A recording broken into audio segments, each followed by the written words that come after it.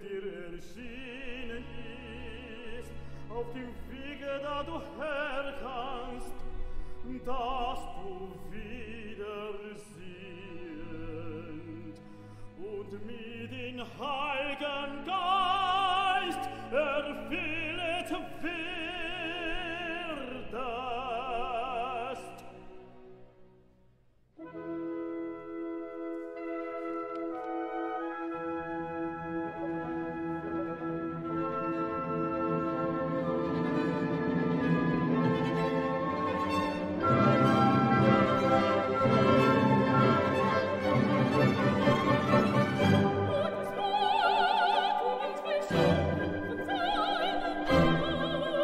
thank you